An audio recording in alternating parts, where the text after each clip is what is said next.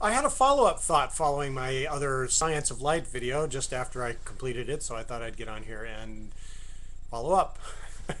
so here's my theoretical mirrors. Let's say that they're perfectly parallel and they're perfectly reflective, so that if you could theoretically shoot a photon in there straight up, it would keep bouncing back and forth in there for as long as those mirrors stayed put.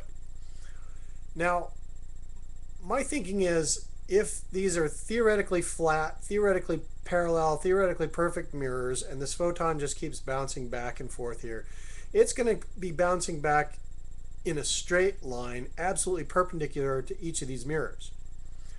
If I were to tilt this mirror then, let's say it's bouncing over here, if I tilted this mirror this way, then the photon would bounce out because it's completely, you know, the photon won't change its direction until I modify these mirrors. Now, let's say it's bouncing back here and I move the mirrors perfectly from side to side. Will this photon keep bouncing like this? Straight up and down in its position?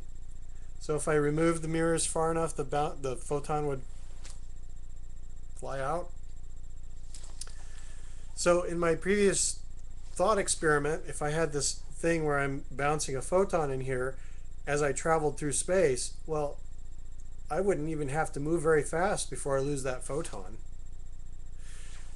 I would have to lead my target no matter how fast I'm going or how slow I'm going to get a photon in there and trap it.